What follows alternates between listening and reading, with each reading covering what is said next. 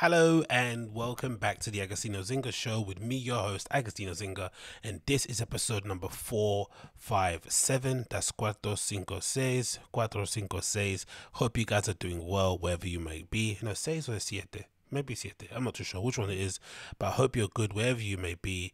I hope you're good wherever you may be. If it's your first time check out the show via YouTube, you know what to do. Smash that like button, hit subscribe, and leave me a comment down below. If you're watching via YouTube, well, yeah, click subscribe, leave a comment down below watching for YouTube. If you're listening via the podcast app, a five star review will go help will go a long way to help spread the show. I've seen a lot of five star reviews on there already, so thank you for those of you that have taken out the time to do your five star reviews. And if you haven't already, please do. It won't cost you a thing. It'll take you no more than five minutes to do a five star review on the Apple Podcast app for me. That'll help the show to kind of get pushed up the algorithm and make it more discoverable to other ladies and gentlemen such as yourself.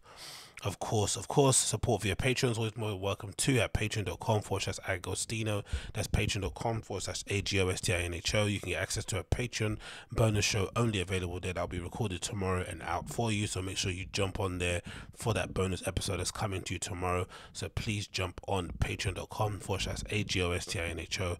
Get involved today. Don't delay.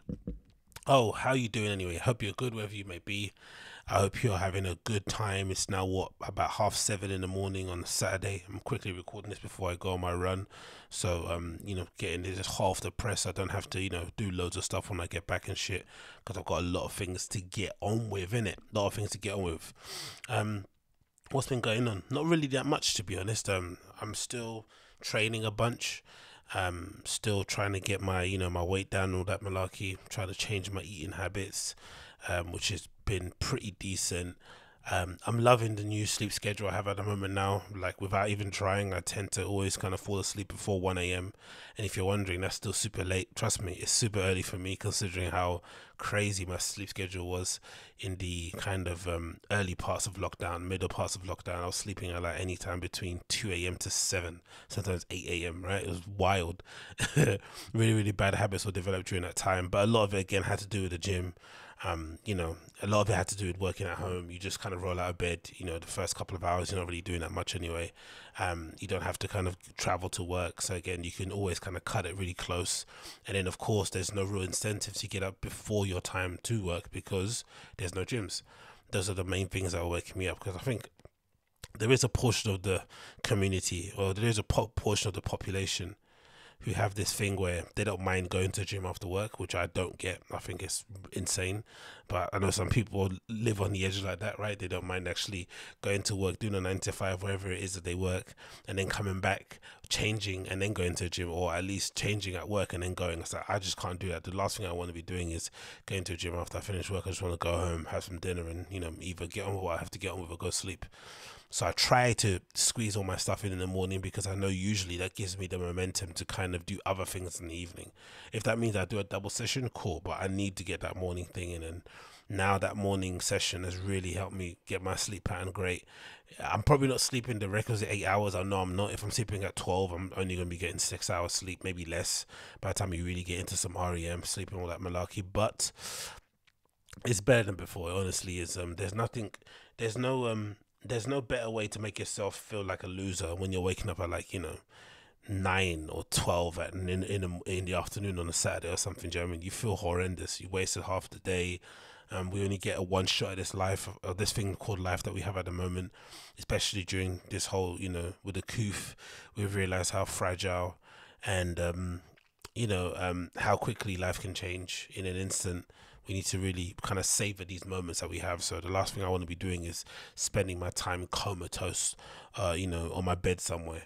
Um, thinking about all the things I could be doing when I should be doing them. So that's basically what I've been up to. So that's been pretty decent. I'm not gonna lie.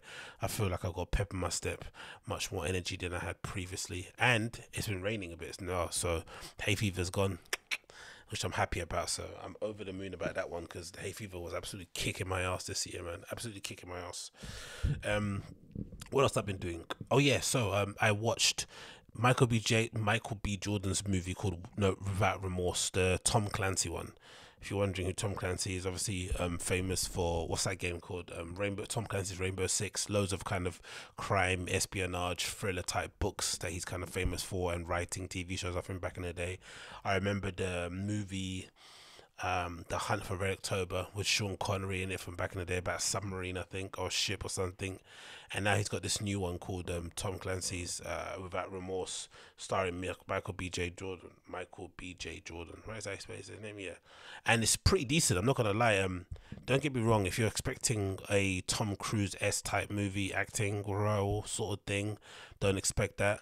Um, although I do think Michael B. Jordan has proved with this role, and obviously when he did um uh, Black Panther that he can he can obviously play the like the psycho killer antagonist sort of dude in the movie really well, and he can also play this action hero movie role guy pretty good too, which is making me think. Do you do you reckon Michael B. J- Michael B. Jordan? Do you reckon he uh, auditioned for what's that word called? Is it Inception or Inception? What's the movie with them that came out recently with what's his with Denzel Washington's son? I wonder if he auditioned for it because he might have been an actual good fit in it. Um, Denzel Washington's son, what's his name? That's it, John David, right? What did John David, John David Washington, what did he do? John David Washington. Let's see what movies he did. Movies. I forgot the name of it. It's kind of escaped my head. Uh, Tenet. That's it. Do you think uh, Michael B. J. Jordan auditioned for Tenet? Because I reckon he could have done a really decent job. Because if you remember in Tenet, um, John David Washington's character doesn't really say too much. It's all kind of movements and you know expressions and whatever it may be, but it's not a dialogue heavy movie, um, which is obviously something that I think, which a lot of people would probably say, Michael B. Jordan kind of lets himself down within it. His kind of delivery um, of lines and stuff isn't the best. So I'm wondering whether or not he actually had a shot of being in this movie because I think he would have been actually he could have done a, a, a decent role in Tenet. I reckon he could have. Obviously, John David Washington was probably a better fit. I think the scenes of him running and stuff are really good because obviously he was a what was he a, he he was a, a high level doing American football. So there's it's just a really weird thing to talk about because you know who cares, but there is something about movies, action movies I like I watch sometimes where when the person's running, it just kind of takes you out of it because you realize quite quickly that oh, this guy isn't athletic at all. He can't run. Do you know I mean? He's not gonna outrun anybody. But with John David, he, the way he moved his body and everything, you know, he's just looked comfortable in that sort of scenario. So I thought that was pretty decent. But anyway, back to Without Remorse, decent movie. I'm not gonna lie. I don't really want to spoil it too much because I think the trailer does anyway, but you kind of get the gist of it. Um, it's sort of about this army surgeon guy who essentially has a tragic life incident happen to him, which kind of makes him snap and question everything that he's held dear about the army, you know, and whatnot. And then he ends up getting recruited by another faction within the CIA, and then it kind of develops into another story. Um, funnily enough, um, what's her name's in this as well? Uh, what's her name? What's Thingy Um, oh, what's her name? What, what, why am I always? Why's my my head getting split now? What's her name? what's her name? Lauren London. That's it. Lauren London's it. Nipsey wife. Nip, Nipsey Hussle's.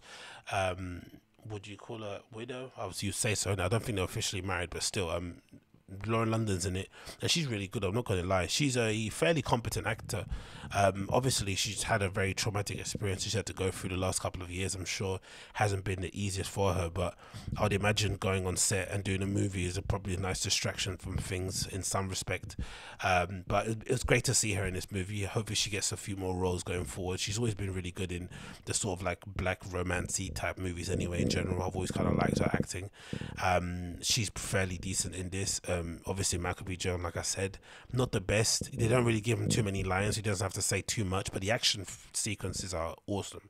For somebody that likes, um, you know, close combat, gunfights, and all that malarkey, it's bloody brilliant. I'm not gonna lie, it's really, really, really good, and it's violent as hell, super, super violent. So, if you're a fan of it, that sort of stuff. I really recommend you check it out. It's probably not going to win any awards anytime soon. Um, it probably would have got. I probably would have enjoyed seeing this in the cinema too, just for the cinematic experience. But you know, watching on Amazon Prime is pretty a decent experience. The UI and Amazon Video Player, it, you know, it's a bit shaky, but it works pretty well. So um, subtitles, the ability to kind of scrub, you know, forward into on the movie and whatnot, a couple of seconds. It's a fairly decent. I'm not gonna lie, it's it's enjoyable. I enjoyed watching it. So if you got nothing to watch at all, oof, look at this review. Gave it two stars. Horses for courses, in it. Um, if you're into that sort of stuff, action movies, thrillers type stuff, definitely check it out. It's called Without Remorse. It came out this year. It came out a couple of weeks ago, so um, it's fairly recent. So check that out if you're that way inclined. What else did I get myself up to? Oh, I've also been watching Invincible. I just finished that actually. That's another Amazon original, um, a cartoon or an animation, sorry, uh, based TV series about you know these superheroes, these group of superheroes, kind of similar, you would say to um, what's the other one they got on Amazon? Uh, is it Bad Boys, Bad Guys? What's it called? Oh my god, why is my brain absolutely foggy today? Amazon uh, superhero TV show. Was it TV series? Was it called? The Boys. Yeah, it's kind of similar to The Boys in, Invincible, in that it's sort of like a real world um, interpretation of what it would be, or representation of what it would be like to be a superhero, right? Um, it follows a, a, band of these guys called the Global Guardians, um, who are essentially, you know, they're exactly what they say on a tin they are global guardians. And this one man called omni man who kind of is a bit of a rogue fellow that kind of you know hangs on his basically does his own thing. And it kind of follows their trajectory um you know in terms of following or in terms of trying to save the world and the challenges around it and trying to live a somewhat normal life. Um it's really good. I really recommend you check it out. Um very very gory very violent. Um there's a lot of kind of cringy you know um real world representation things in it, but you can get past it because the story is pretty watertight. Supposedly, it's based on an original comic, which makes sense if you look at some of these early illustrations. It's based on an actual comic book series that people, um, I guess, really like. But I really enjoyed it. I'm not gonna lie; it's very, very, very, very enjoyable um, to watch. Super funny bits here and there, um, good action sequences. Um, storyline is really gripping and maybe I think because it's a cartoon on animation, you can just get away with more in it. You can just get away with more than you probably would do in a live action remake of this sort of stuff. But I really enjoyed it. Um, so if, again, if you're into that sort of stuff, really to recommend you check it out. Invincible, available now on Amazon or wherever else you stream your shite. Next on the list, what else do we have here? We have oh, we have an update. We have an update so this is courtesy of the Guardian. It says England's traffic light system for foreign travel. All you need to know.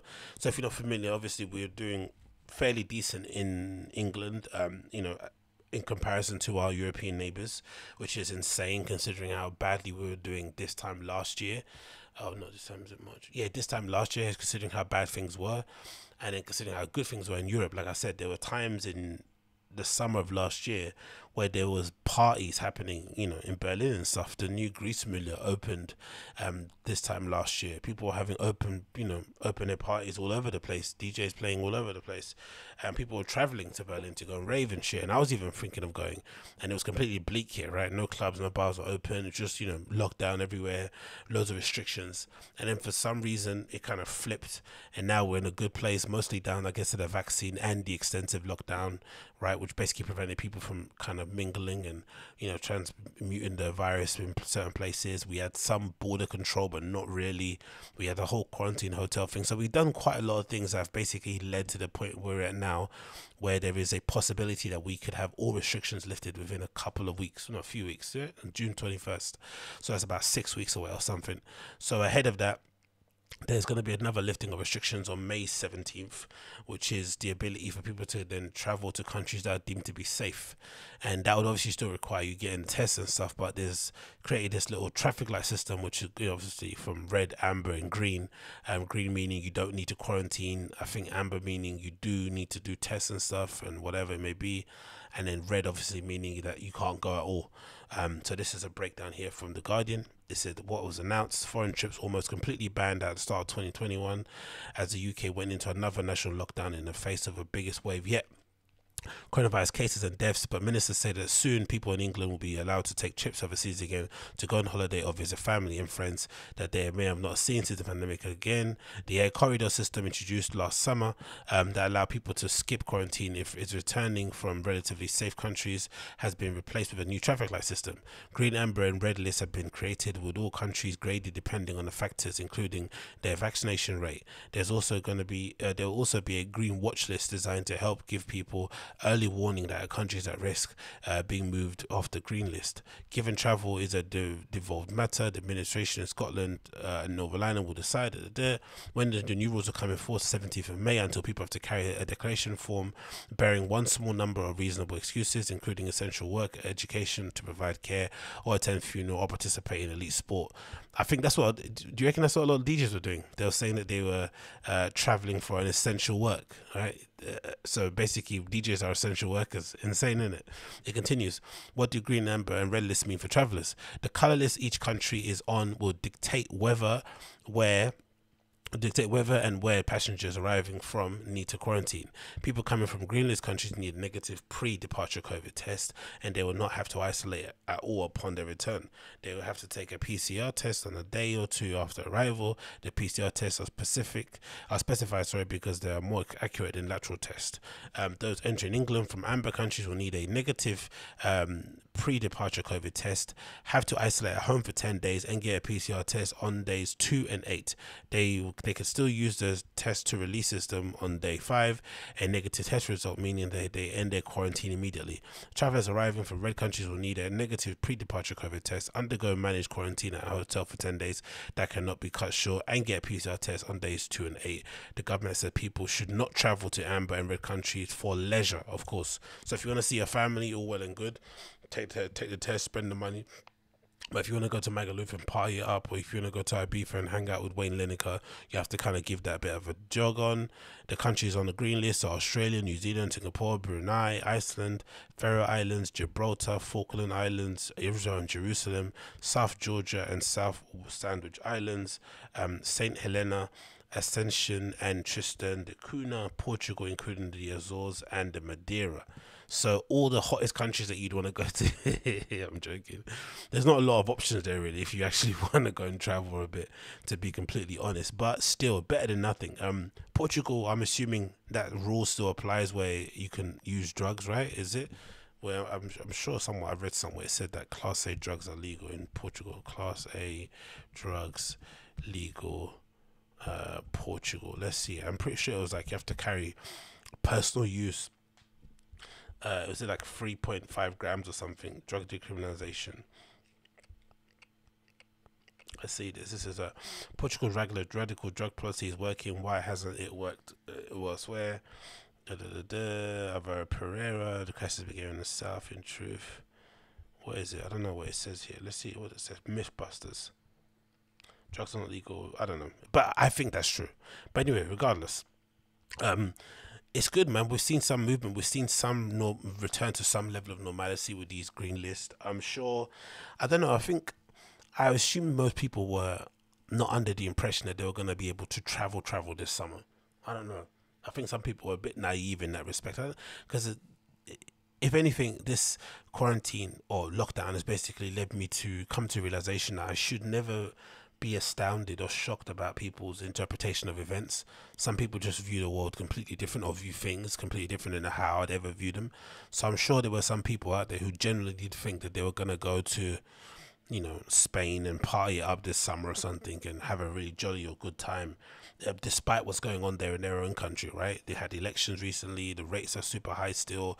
Um, you know, they're still on a bit of a knife edge. I'm sure some people generally thought, no, it doesn't matter. I can still go to Fuerteventura and enjoy myself and whatnot, um, which is insane to think. Um, and I think considering everything that's going on, you're still going to be able to travel within the, you know, English shores or British shores, whatever it may be, um, you know, without really much any restrictions at all, apart from maybe putting on a mask in an enclosed area such as a train or whatever it may be, or a restaurant before you're eating, which is insane to do. But hey, you got to do that and just kind of you know tick the boxes. But you can fairly you can still have a fairly decent returning to normal summer and end of year. So yeah, it might not be the best going forward, but until our European neighbours catch up, it's gonna be a little bit tight anyway everywhere, isn't it? It's gonna be a bit tense. And again, like I said, it's even though you don't have to quarantine, you're still gonna have to I think per person, depending on where you are, you're gonna have to shell out anywhere between 100 to 300 pounds per person to get your test done in that right? Ahead of time. Um, depending on if you're in the place where they give them for free but some places they most places i think charge. So you're gonna have to get your test done. I think it's free tests right? One leaving um, one going one coming back and then two when you come back. So it's four actually. Four tests you're gonna have to get done. So it's a lot of money you're gonna spend to go which is um, ironic too because it means that the lockdowns negatively affected people from poorer communities, right? Because, you know, it is what it is. And then now that the world's reopened, the people who are going to benefit the most are the ones with the most disposable income because they're going to be able to pay the the fee needed to get the PCR test done. Um, they're going to, you know, need whatever if they want to avoid going on trains and whatnot they can get an uber to the airport and whatnot. So it's going to be a completely different reality for some people. Some people are going to be able to go legitimately to new zealand and singapore and all these countries that are on this list right? And just have a, a legit a legit holiday because why not? I'm sure going to iceland this summer wouldn't be that bad of an idea. Faroe islands portugal's pretty nice. All these places are decent. Jerusalem and israel i, I wouldn't mind to visit. Um, but then me and you the regular folks gonna have to slum it over here and pretend that we really enjoy going to places like Devon and stuff. uh, what can you do? What can you do? Um, next on the list, what else do we have here? Oh yeah, we have this. Um, this is a bit of an odd one and something that I'm kind of ashamed to talk about here, but fuck it, you know, sometimes you have to be a bit cringe and give yourself the flowers whilst you're here. So I saw this really thing, this really cool thing on my feed the other day from Virgil Abloh, where he posted um, this image. Um, this is courtesy of his Instagram page. That says the following: um, At Rob 1970, leading conceptual artist from my school of thought. The first object just launched now via Canary Yellow Art Store, the art object outlet for the motley crew of artists I roll with. Robert Cristofaro, obviously from um, A Life fame, born 1970, American artist, small compact carton cutter, um, New York City 2020. And obviously, what you see in the picture here is Rob's interpretation of a carbon cutter, sorry, of a carton cutter. Um, it's got his kind of, you know, acron or his logo or his name here, Rob 1970, um, embossed on the outside with an engraving of 2020 written there, an edition out of 200, I think. That one's number 49. You got some images there of the box cutter. You got it here in the box itself. It looks pretty decent, stainless steel, all well and good, right? So I was thinking, you know what? I'm going to take credit for this collaboration because I think I was the person to introduce Rob from A Life and A well, Rob from A Life and Virgil for the first time, or maybe reinquating them. But I think it was for the first time when I had when I was working at my previous place. You know, a few jobs ago, maybe was six, seven years ago. Um, obviously, I was in charge of leading, um, or I was in charge. I was put in place to co-produce a streetwear program which basically meant you know I kind of had to dip into all my contact books of people that I've known and grown up with or looked at when I was doing my thing, and kind of you know asked them that hey, if you want to come on this course where Virgil Abloh was the kind of lead curator, the lead lecturer in this, right? It was very new at that time, something a bit fresh. I think it kind of built upon something Jeff Staple might have done ages ago, but you know that's Jeff Staple. He's a bit lame, so no one really cared. so the idea behind it was to give brands all over the world access and resources to information that they probably wouldn't have if they didn't live in a metropolitan city. And obviously access to some of the biggest and brightest brains within streetwear and fashion and menswear whatever it may be. And the idea was to get them from inception to delivery so they can take their idea what they had in their head for a streetwear brand and take it all the way to how it would look in the rack and how you'd get it in the shop and how you'd sell it. Um, and obviously um, you know, uh, I was able to kind of pull in some favors, go through my contact list and got some names. And one of the names that I pulled out that I thought would be really good, obviously, because I'm, I'm a big fan of A Life. Um, I remember going to the A Life store uh, when I went to New York in the early what late 2010s or something around that sort of line. Um, I bought quite a few jumpers as well from A Life from back in the day. I've know was it from A Life? No, it wasn't from A Life. It was from a Good Hood sample sale. But I did bump into um, Rob from A Life in New York back in the day. Um, I forgot the sneaker store that they had that was all brown and mahogany that was linked to them. I think it was Rivington, Rivington something, right? Do you remember that store that was linked to A Life that had all the things in it? I remember having the Adidas's, the A Life Adidas's back in the day too, the red um, ZX 700s, I think, from back in the day. And anyway, Rob's just generally a very much, very much a bit of a legend. Obviously, um, he has a child with Leah McSweeney from Married to the Mob, so they are essentially streetwear royalty in that respect, right? They they they they they're cut from a different type of cloth from that back in the day, um, what they called it, streetwear mafia days, right? From back in the day, if you remember that era, um, smash the like button. So I think I was the first person to reintroduce these guys in a working capacity, and then Virgil Abloh ended up flying out Rob to his show in Paris, which I went to attend. I think that was fall winter. That might be fall winter 2015 of Off White, if I'm not mistaken. The one where Ian Connor runs down the runway. I was there for that one, standing on the side. Obviously, didn't get a seat. Not that special. Um, I think it was Off White. Is it Off White Men's 2015? Let me see think so. Off White Men's 2015. Let's see if it feels that one. It was yellow. The floor, the the the, the kind of set design was yellow. Okay, it's not 2000. Was it 2017? It didn't feel like I felt it was longer, more long than that. Okay, maybe it was 16 then. Is it 16? Let's it 16. 2016. Yeah, that's one. It was 2016. This collection if you remember that. Uh, let me see if I can find it actually. Yeah, it was the, it was definitely this one. I got it here already on the list. Let me get it up on here so you guys can see. But this was the one, yeah. So around this time, I um, obviously enlisted um, Rob to be one of the guest curators um, sorry, guest lecturers on the program, you know, to work um, with Tandem, with Virgil in terms of, you know, helping out some of the brands that are on the streetwear program. And then I guess throughout that communication or throughout that kind of time, um, Rob and Virgil got talking again. Virgil ended up inviting Rob over to Paris to come, you know, just hang out, vibe in the studio as he always does. He's always kind of, you know, helpful that way, always collaborating with people and reaching out to people that he feels can kind of add something to the overall vibe of what he's doing, maybe inform some of the last minute decisions of clothes that go on the runway. And yeah, he was here somewhere. I'm pretty sure I was on standing somewhere towards that right hand side of this, but I'm pretty sure I was the first person to reintroduce these people back together. So when I see stuff like this, I'm I, I get I feel a bit of pride. I'm not gonna be I'm not gonna be honest. I want to give myself a pat on the back for that. Um, and then of course it's available on his site. You know, you got Virgil Abloh's site here. Um, you know all the points that he's sort of working on. You know, maybe create to see awesome hardworking dude. And then, of course, there is the box cutter itself, marked at fifteen pounds, that you can purchase. Obviously, it's you know practical and also a bit of an art piece in itself as well. So, a fairly decent little object there. But yeah, I saw that. I was thinking, you know what? I, I think I'm responsible for this. I think I might have led to this collaboration actually going on. So, you know, in an in an era where everyone is eager to give people their flowers, I'm going to give myself flowers for doing a sterling job. This is probably my the best job I did actually working in a place somewhere that wasn't my own thing. Obviously, I do um, pretty decently in terms of the stuff I do myself, but in terms of doing an actual work job, nine to five, clocking in, that was probably the best performance I was able to do, mostly because it was something that I kind of, you know, I've always did loved in it when it comes to streetwear. Something I've kind of been obsessed with from when I was super, super young. So it came really easy to me in that respect. Just a shame that it ended in a somewhat shitty way, pun intended. if you know, you know. But yeah, big up Rob, uh, big up Virgil. Um, collaboration looks pretty sick. Big fan of it. Glad they're still going strong and still friends and all that malarkey. Moving on, moving on deep, moving on, moving on deep. Oh yeah, we've got this.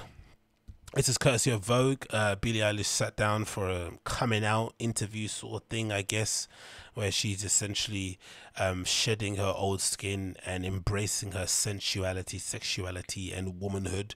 It feels like um, she's kind of, you know, um, donned in this weird latex um, corset thing that I don't think really looks that great in my opinion. But again, I'm a dude. What do I know? The interview is fairly illuminating. Um, not really considering she's only 19. um, you do get the kind of sense that she's kind of figuring out herself and you know what she stands for in that malarkey. But just in terms of an aesthetic, right? Because I understand the need for. Again, I'm not really the biggest fan of her music. I don't really listen to it. It's not really made for me anyway. But in terms of just um progressing your career as a mega pop star, this is just kind of part and parcel of the game, in it, right? You look at Madonna who kind of maybe laid the blueprint of this sort of stuff. She basically reinvented herself, maybe more than every decade, right? Probably every five years, maybe less than that. She always had a kind of a reinvention of her sound, of her look, of her aesthetic, you know, of her vibe. Everything was kind of, you know, um, ripped apart and put back together again. So I guess in the kind of microwave era that we're in at the moment, if you're Billie Eilish and you're, you know, you got the attention of the kids right now, there's no guarantee that that's going to last because it only takes one girl going on TikTok and having some sort of viral smash, and all of a sudden people are forgetting about you or kind of diminishing what you know the influence that you've had in the industry. So you kind of always have to keep reminding people and keeping it fresh, right? Lady Gaga is really good at doing that too. Um, so I understand the need to do something like this, but the shoot itself and the actual styling and the set design and photography is pretty crap. Personally, I don't know what it is. I don't know if it's like a, um, uh, I don't know if it's sort of like an indication of where we're at now societally, in terms of art and whatnot, or in terms of image making in general. But it's just not interesting. It doesn't really wow you. It doesn't really announce that she's on the you know that she's on the that, that she's kind of evolving as an artist if anything that picture that she kind of got papped outside of her home, I think, where everyone was kind of shocked that she had boobs, right? Because um, I guess she keeps wearing really baggy clothes, so no one had an idea what she actually looked like. And then I guess in a documentary or something interview, she's basically said that, hey, I never really felt that comfortable. People kind of, you know, Google, kind of, what's that, um, eyeing up my body in that way. I didn't want to be objectified, so I kind of purposely done these bigger, pieces of clothes, right? These uh, extra large T-shirts, right? Kind of early 2000s hip hop scene sort of stuff, early money, uh, early sort of like cash money sort of vibe, right? Which is commendable too, because it means that she got into music for the right things. She got into it for the artistry, and you know, um, she didn't want any untoward toward attention coming or judgments coming toward the body, so she decided to kind of essentially encase herself in this massive cocoon of a t-shirt and big trousers and massive shoes and whatnot, and just kind of got Larry with her makeup some more and her hair. That was about it, and then did the actual business in front of the microphone. So commendable, but. I don't know, there's just something bland and weird and frumpy about this. It doesn't really scream, I've arrived. And like I said, I think that picture that she got papped outside of her home um, in the Yeezy slides where people saw her kind of side profile and saw her boobs is probably more impactful than these pictures. And that was a fairly mundane picture of her just popping out in her PJs, you know, whatever, going to the shops. This is, I don't know, it just doesn't do anything for me. Um, and she's gone, she's radical change too, right? She's changed her, um, her kind of two dye sort of like hair that she has. I think she mentioned in the interview it took like four dyes to get this, you know, platinum blonde sort of style. She's obviously a very striking um, girl in terms of looks wise, right? Obviously, clearly very, very attractive. But in terms of the sh- the shoot, it doesn't necessarily announce anything for me. It looks a little bit burlesque I don't know burlesque. Burlesque, right? It looks a little bit burlesque. I don't know. It looks it looks a little bit. It just looks frumpy. It doesn't look that great. Maybe this picture on the cover is fairly decent, but still the corset. Considering you're going to arrive somewhere and you're still kind of entombed, I guess she mentions in the interview a little bit where she's like, I know people are going to be upset that you know I'm still where I'm wearing a corset, so I'm not really showing skin, and she's obviously battling this sort of like oh, I'm not really a body positivity person. Yeah, because I think that's probably what she's at. The, the the problem, the kind of clash here is that because she was wearing baggy t-shirts and big trousers and trainers and shit, people just immediately assumed that she was body positive. But she's not fat, is she? Right? She might be um, a little bit big boned in terms of she's got like a frame on her, right? But she's not fat girl. So maybe people wrongly interpreted her need to kind of cover up and not have people, you know, staring at her goods because she just wanted to be private in that way and just interpreted it as her being um, into body positivity, which is obviously something that you have to tread lightly on because that whole subgenre or that whole you know um, subsect of people are very sensitive when somebody who they deem to be in their camp then decides to kind of you know get fit and get thin and get healthy quote unquote. It does necessarily rile them up which i understand to be honest because i think societally, if you're a bigger person, every single day your existence is kind of being questioned, right? Your right to basically breathe and to enjoy yourself and to, you know, whatever it may be, it's just always getting questioned. So when you have, if I have somebody of a high profile representing you, it can kind of feel quite empowering. And then when they suddenly decide to jump ship and, you know, do what everyone else is doing and just live a you know a skinnier life quote unquote it can really get you angry. I think it's the same thing happens to vegans. You see them a lot on youtube. There's vegan youtubers who you know was will make a video about oh my god i was suffering. I had this breakout. I was had a headache and i had to eat meat and da da da da, da. vegans get so angry with that sort of stuff because you know having leading that kind of lifestyle plant-based lifestyle raw lifestyle is you know not for the faint-hearted but it's also something that they feel very deeply about in terms of you know how they view the world and when you kind of go against it you're essentially going against their whole reality. It just doesn't really bode too well. But again the cover's fairly decent but i think the rest of the pictures are just a little bit meh. And i'm also curious as to whether or not this actually means it's going to lead to actually interesting music. Not interesting no i take that back because some people think it's interesting. Whether it's going to lead to actually an evolution in her sound let's say. I don't know if that's actually the case. Maybe it does because even the shoes aren't that great. Like here the heels what what are these things they look just look terrible in it. I don't know. It just looks really bad. Maybe it's just me. I just don't think it looks that interesting. Like, and again, she looks really awkward in this stuff. Maybe it's just because she's it's legitimately might be her first time wearing this sort of stuff and you know posing in front of camera. This sort of like lace lingerie sort of corset thing. Um, it can be very awkward to do these shoots well but it just doesn't look that great personally in my opinion i don't know maybe i'm just kind of reading too much into it and again this thing with the coat like it could have done with just maybe having the tights on and maybe taking off that corset and maybe having a top on just to kind of expose the midsection a bit, show a bit more skin. She's got this great tattoo here, which obviously no, none of us have ever seen because she's fairly covered up. But I don't know, it's just a bit bland. Maybe it's just me. It's just a bit bland. Again, maybe it's um, it'll take a couple of these shoots for her to get comfortable in her own skin and to kind of decide what she wants to do. And who knows, this might just be a little shoot. It might not even be an answer. It might not be an evolution of looks. She might just decide to go right back to normal. But there is something about this new age of pop stars like her, Dua Lipa, and stuff like maybe not her. Yeah, Dua Lipa is a good example. Like music is fairly decent, but personality wise, like they're just like they got the personality of a cardboard box, isn't it? Like there's nothing behind it. It just feels a little bit empty. That's why sometimes when they try and do the whole bad girl thing, it's just a bit cringe. Um, at least with Miley Cyrus, you get the talent, you get the singing voice, and you get a genuine personality, whether you like it or not, right? Um, I'm sure a lot of people in hip hop don't really like her, you know, her comments on twerking, and all that stuff after she, you know, dipped in, got a bit of hip hop money and then dipped out again. But at least she has something, some je ne sais quoi. Do you know what I mean? There's something about her. She's an interesting person. Like you wouldn't mind bumping into her at a bar somewhere. Do you know what I mean? You'd have a good time. But these ones are a little bit, I don't know, they're a little bit a little bit meh, innit? Maybe it's just me. Maybe it's just me. Leave me a comment down below if you think I'm right or wrong. I'd love to know your thoughts and opinions.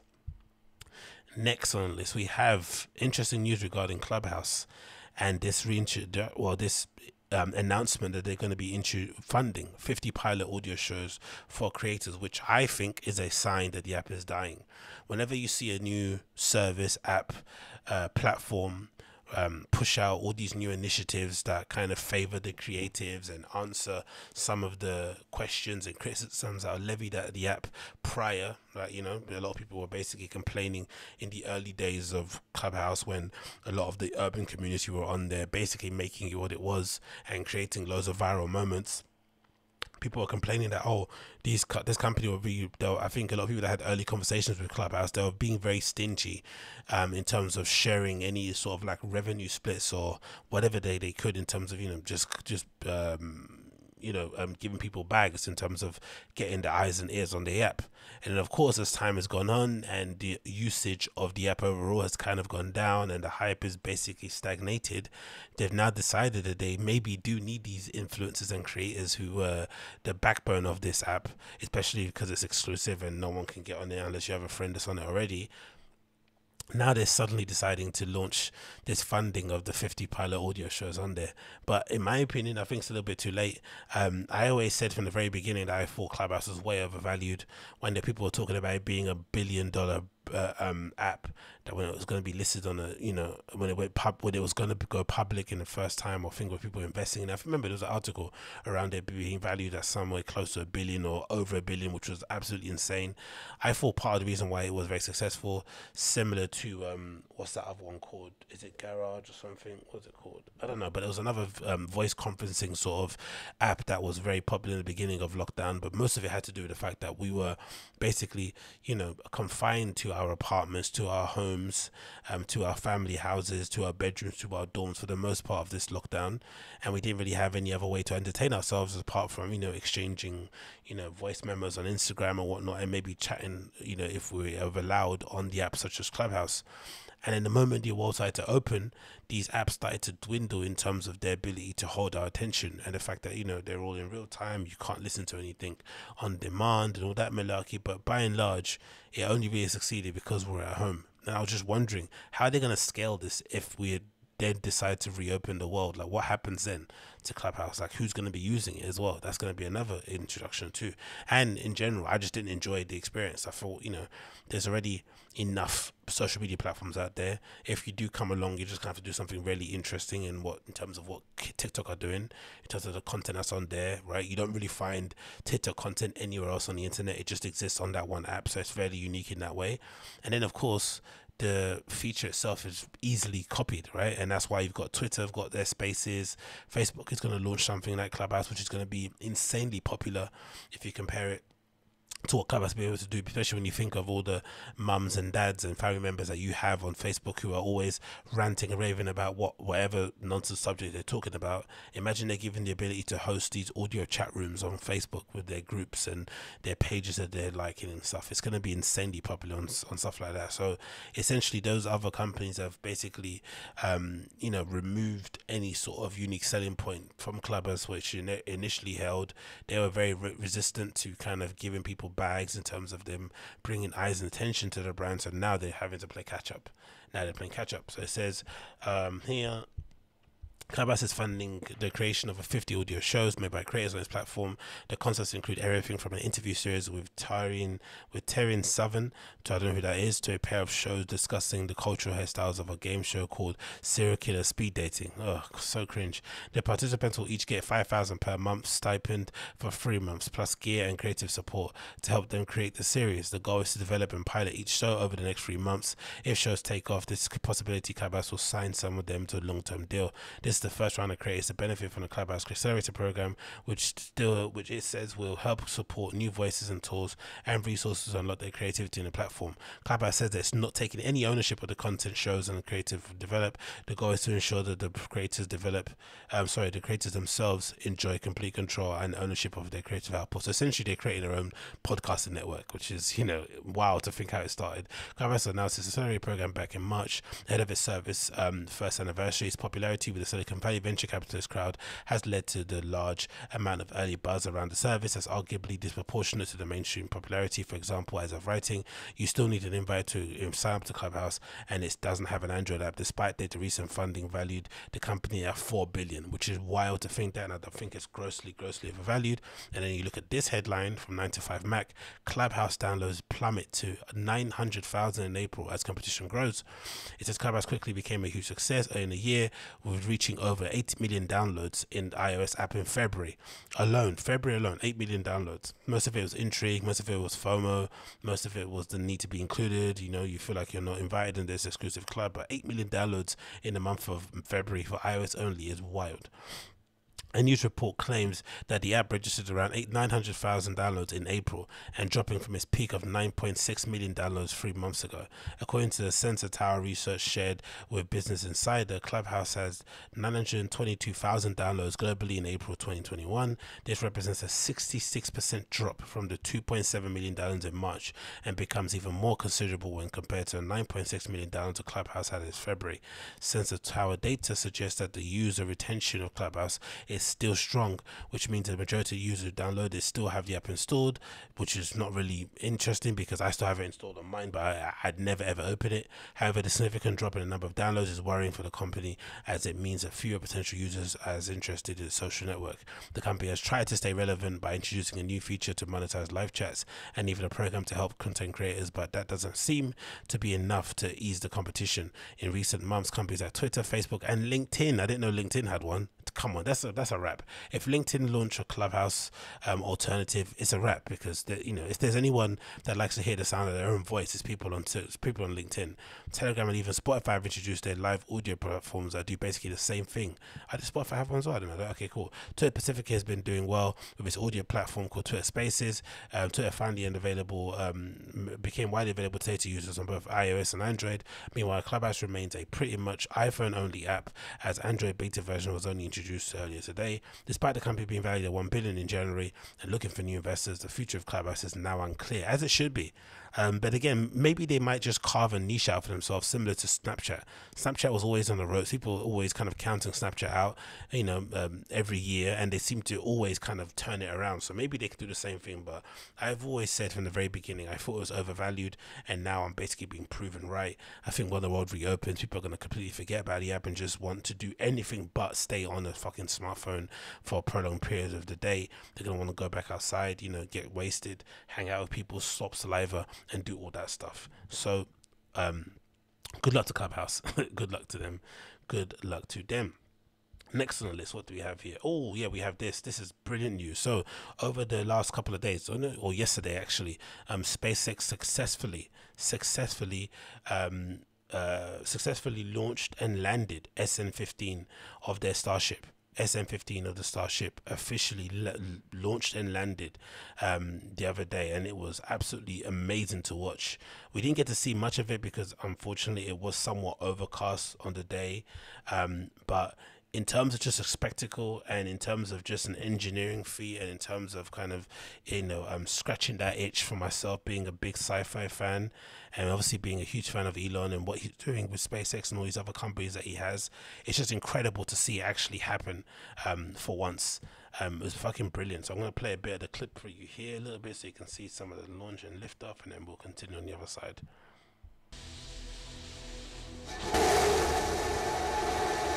Hear that sound. Three Raptor engines going off.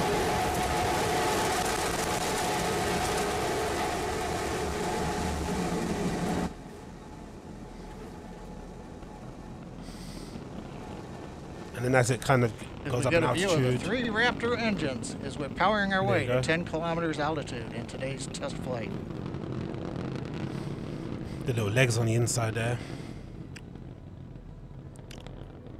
Think that's altitude there in the corner, and you can see it's just disappearing into the clouds. I think I saw a tweet earlier too that Elon said he's going to try and um, uh, launch it again earlier, uh, uh, later on today, maybe. So obviously they're going to have a an ability to see if they can implement this rapid usability thing that they have going on here, where the I think the goal is to basically land a starship and kind of have it ready within an hour or 45 minutes, which is insane if they're able to do so.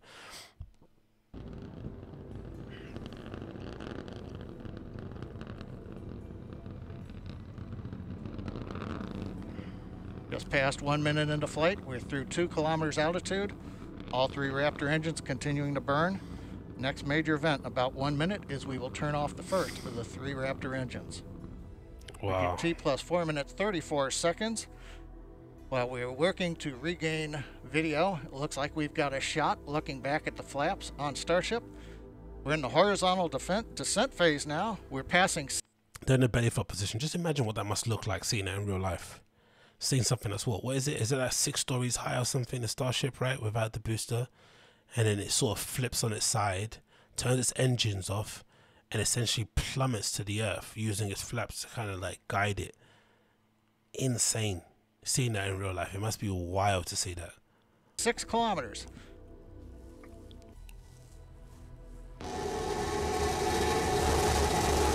And we have ignition. with only two engines too, which is interesting. I, I, I wonder what that's about in terms of slowing it down. So when it obviously flips on the side, it then goes back up again vertically um, by turning on only two engines and then decides to slow itself down with those two engines to land. You'd imagine you need three because obviously you need more propulsion to lift off because of the gravity. But then, of course, the gravity coming back down again, you need to slow yourself down in a certain way. I don't know how it works engineering wise, but it's flipping marvelous to look at. Look at that. Oh, let's go back again. Look how incredible that is.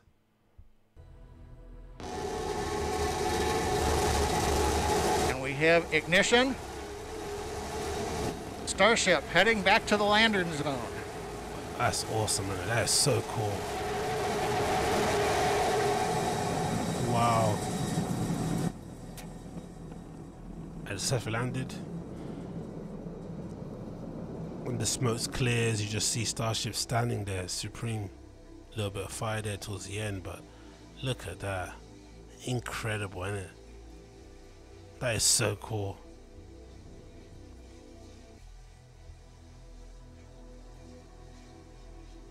And Starbase Flight Control has confirmed, as you can see on the live video, we are down. The Starship has landed. We're going through the safing sequence in the flight computer right now. We'll be back in a moment. But yeah, that's incredible, man. And again, not even a blip. Maybe it's because of Elon. People have this weird love-hate relationship with that guy. He's gonna do uh, Saturday Night Live, I think, this today, later on today. Um, people already got their panties in a twist about that, which I don't really understand either. The show's dead already anyway. It's not really funny.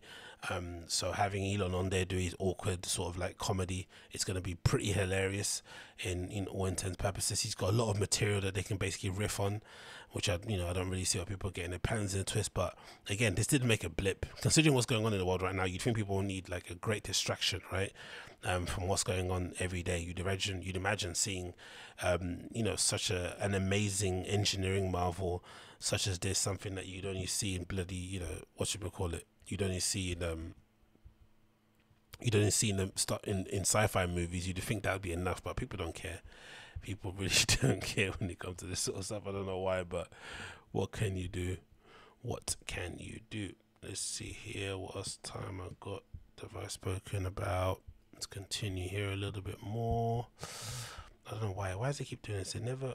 Sometimes you'll work a little bit, but then it won't work. Sometimes I don't know why. Okay, let's move on. What else do we have here? Oh yeah, let's just do let's do this. Let's give Supreme their flowers too, because these already have come out. Don't get me wrong, so they're not so exactly new news here that I'm sharing with you guys. But I think we should um, give Supreme their flowers when it comes to sneaker collaborations, right? This is the um, Nike MX 96 that they basically re-retroed. I think they came out originally. Yeah, they came out originally obviously in 96, but then they came out again in the early 2000s, mm, maybe recently, maybe it was 2011. No, maybe it was 2017 anyway, recently they came out and then they reintroduced them back again. And they tend to do this quite often. Nike, I mean, Supreme have a tendency of always collaborating with Nike and kind of pulling out some of the lesser known models and giving them basically, you know, life support. Um, and just basically reintroduce them back into the sneaker market again, and it's pretty cool. I've pretty much, I pretty like it. I pretty like this approach because there is, I think in my head, if I was Supreme and stuff, and you went to do collaborations that sell out, you could easily just, you know, keep doing any variation of the more popular Air Maxes, Air Max 1, Air Max 90, 95s, um, 97s. What was it? Not, I'm not responding. Why is it not responding? Exit pages and oh, Mago exit the page. Just respond again. Yeah, but yeah, you could do any interpretation of those models it'll be perfectly fine. They'll sell out completely. Let's not even go on the side of Jordan 1s and Jordan 4s and stuff, right? You do those and it's complete sellout job every single time you drop. But they purposely go for the more, you know, um, lesser known model um, just to kind of you know challenge themselves a little bit in terms of design and you can't fault them and especially this this looks great so they've taken this Nike Air Max 96 model, which usually has these little kind of meshy bits on here on the sides where, um, and meshy venti type of bits, and they basically made it transparent. Um, and then obviously they don't look great with different color socks on them inside but this is a fairly cool interpretation of a really really um, overlooked i think air max in terms of the air max collection. It's got the same sole as an air max 95 but then it's got this amazing sort of like weird tiger stripe sort of like you know motif here on the side and with the one swoosh on the heel. So again making them translucent and then having the footbed or the insole say supreme on the n4 They've got obviously the logo on the back and on the front, which is something again I've said I've seen Nike doing a lot more with loads of other brands. They obviously obviously they obviously always do it with the Supreme because it's Supreme, but they do tend to give loads of brands the opportunity to kind of you know emboss a little bit of branding on there and make it a little bit different. So it's not just a colorway redesign, but they look awesome. I'd probably say my favorite is probably the silver. The silver is probably my favorite in terms of overall color but like that silver looks incredible, and it? it definitely it basically looks like the Air Max ninety seven Silver Bullet, you know, the OG, the kind of Italian number one shoe. But that looks great, especially with the clear bubbles in it. Like, oof, so so so so good. And I'm assuming somebody just does the sneaker collaborations at Supreme, or do you think it's eh, people that design the footwear or the design team in general? I'm not really too sure, but I'd imagine there is a committee of people that are basically in charge of putting these kind of things together. And obviously the socks that that you can kind of buy separately you know batteries not included and shit. And you've got the og's here too to see to tell you how great this model is right? It's an absolutely incredibly good model. Incredibly nice model sorry. The actual colorways that have come out being retro that haven't been the greatest i think the, the retro colorways are these i think which you know are not the best. You got this sort of like black and purple colorway the overall model and shape of it looks a little bit crap. So maybe they, maybe it's a re-retro that's been retooled because it does look a bit terrible in these pictures. I'm not gonna lie. Let's see this quick view. This is from what's that site? Se, what's that? Sparse, Sprass or something. Whatever this website is. Sprass, 149 pound for these shoes in black. What size do they have here? They have all sizes. Jesus. But yeah, they look a little bit odd here, innit? Maybe they did re-retro the actual model itself, the shape, because I think the Supreme one definitely does look a little bit better than what these look like, but the OGs look incredibly good. You've got another pair that recently went on Depop here that was sold in a size 5, an OG, kind of a flip on this colorway, basically the inverse, white and blue, blue and white and obviously you got that great cloudy bubble style thing that happens obviously when your um, air bubbles oxidate over oxidate over time usually if you wear these type of things the bubble will just completely you know burst on itself so it's not the best thing to wear. But in terms of looking at it's amazing isn't it such a great shoe man. Really really great collaboration. And again like i said give supreme their flowers for always going and trying to do the more difficult thing when it comes to collaborations and not just going for the easy win and grabbing a Jordan 1 or a Jordan 4 and then making it, you know, and then doing that and saying, you know, job done. So yeah, big up Supreme for that. Big up Supreme for that. I think they already sold that now at the moment. So if you're trying to buy a pay yourself, then get on StockX or cry cry into a pillow like I always do. I mean, just keep it keep it quiet.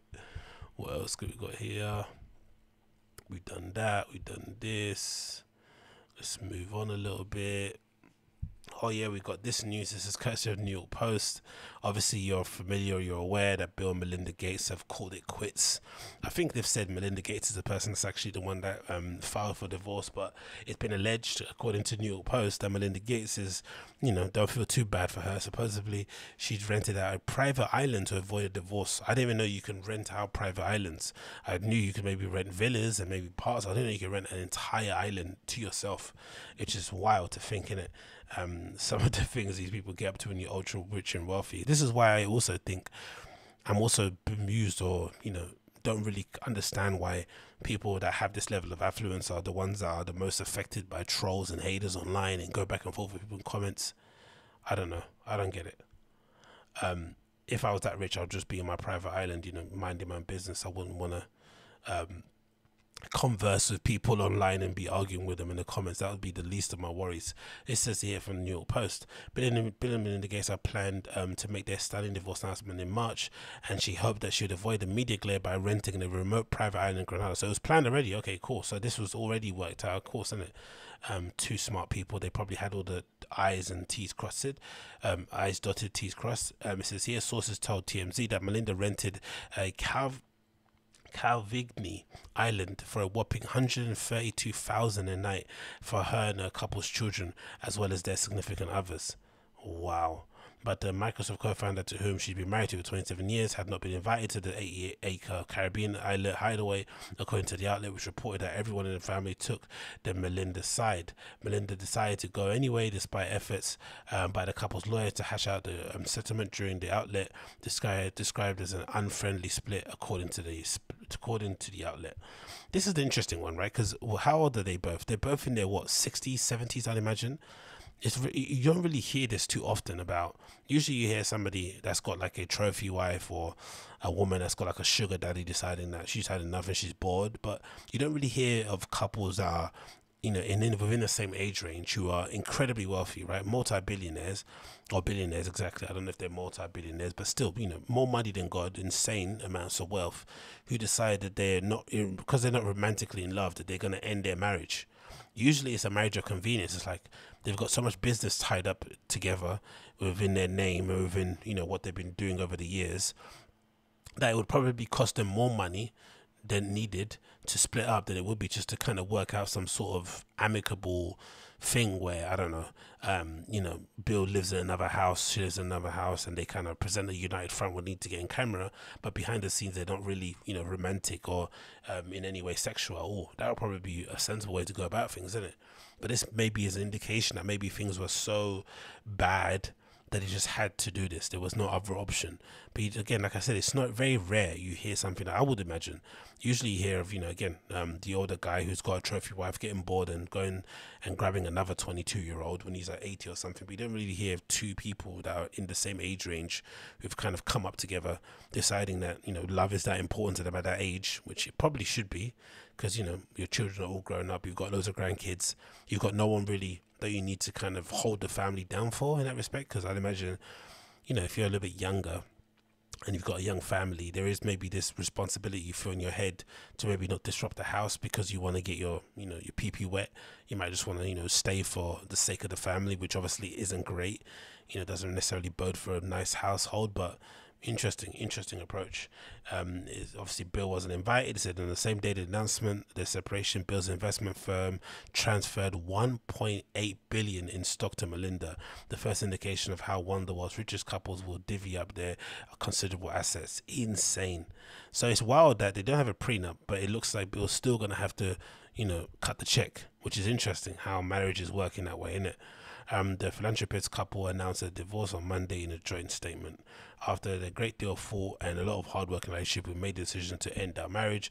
Over the last 27 years, we have raised three incredible children and built a foundation that works all over the world to enable all people to lead healthy and productive lives.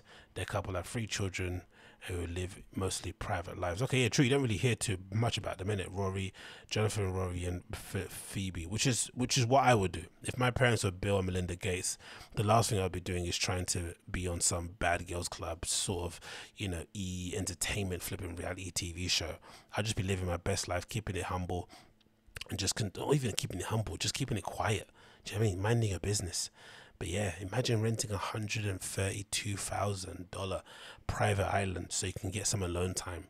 That's madness, isn't? Really, most of the time, if I want to get alone time, I have to go walk in the park or sit in a Pret a Manger and order her flipping one pound filter coffee. And this woman gets to hide away in an island somewhere. Life sometimes isn't fair. Oh, Jesus Christ, life isn't fair sometimes. And then to end, what else we have here? Let's end with this one. I think might be some good news. On the clubbing front, we have another big club in London announcing their summer plans. This is courtesy of RA, said London's Pickle Factory announces summer season. Peter Van Hoesen, Margaret Dias, Margaret Dagger, sorry, and more have tapped to open up the Cambridge Heath Club. Obviously, if you're not familiar, Pickle Factory is basically the sister club or the next door club to Oval. Um, a little bit smaller. I'm not sure what the capacity is, but if if Oval is 2,000, Pickle might be one or 750, but it's still a great little venue, great little outdoor area. They filmed a couple of boiler rooms there. If you're not familiar, the little balcony canopy sort of bit.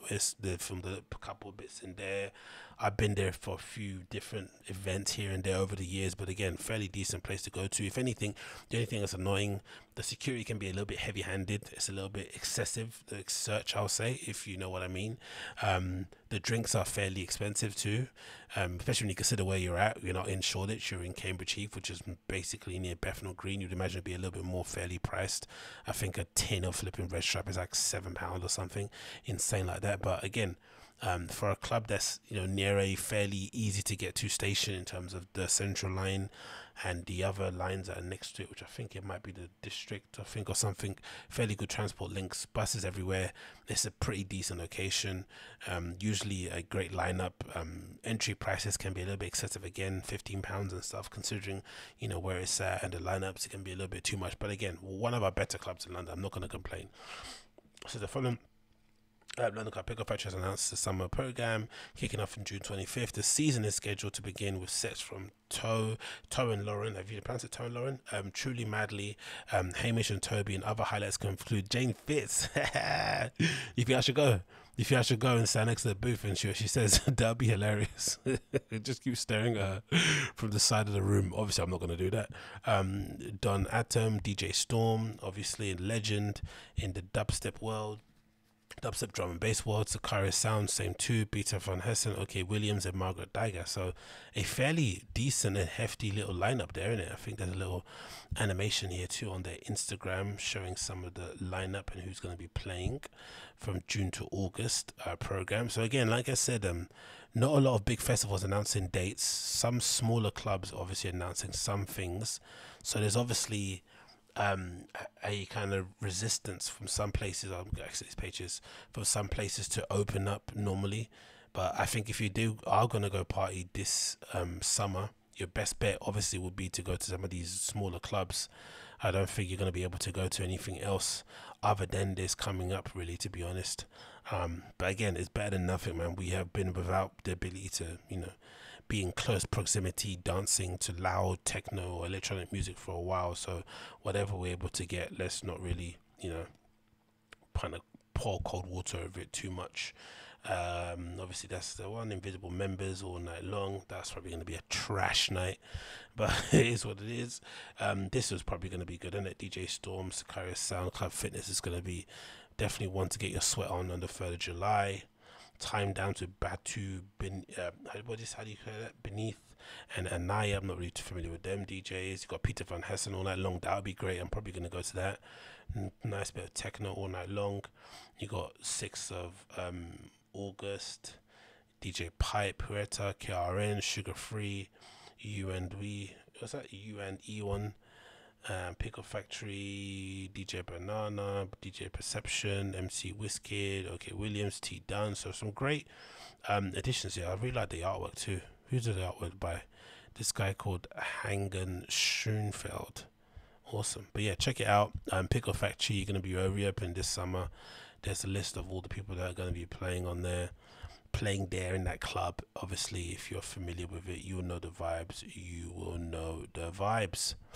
Anyway, that's the your signature episode number 457. Thanks so much for tuning in as per usual. It's been a pleasure to have your company. If it's your first time checking out the show, please make sure you smash the like button, hit subscribe, leave me a comment down below. And I'll see you guys again next time. Be safe, be well. Peace.